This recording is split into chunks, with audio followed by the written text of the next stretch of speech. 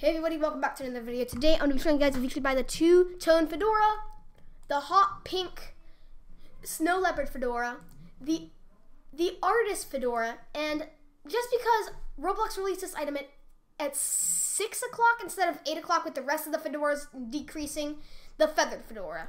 Um, the If you didn't know, um, the Sunday of President's Day sale at 8 o'clock, these most of these items, basically all of except for the feather fedora, had a decrease of price. So basically, I'm gonna start off with a two tone fedora.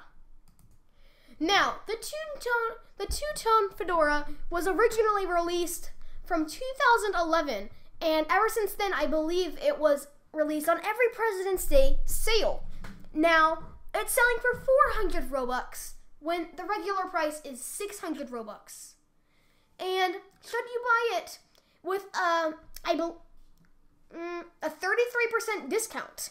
So, should you buy this for a 33% discount? It does look like a fashionable item. It does look pretty decent in my opinion, but 400 Robux, that's a lot of Robux.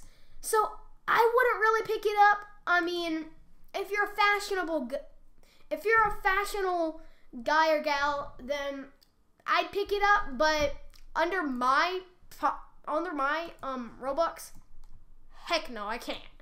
Moving on to the hot pink snow leopard fedora. Man, this item is really cheap. Um, it doesn't say this item is available for a limited time for the President's Day sale 2019. That's oh, is it oversized? I think it's oversized. Well, that's a no from the chat. Um, so should you buy this? It's 150 Robux and it is a limited time item with 30, 13,000 sales. Um, I picked this up for, I'd pick this up if I had over like 3,000 Robux, maybe 2,000 Robux, like maybe 2.5 actually. Um, if I had, or if I just really wanted it.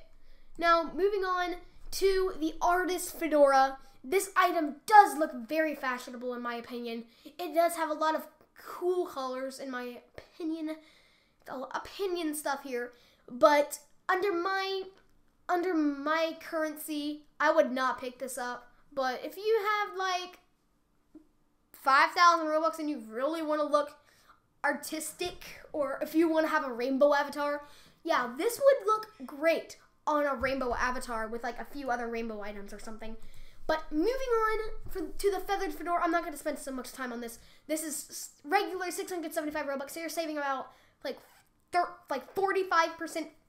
You're saving like 45% or maybe like 40%. I'm not going to do the, all of the math, but it's selling for 400 Robux. And that was regularly, regularly.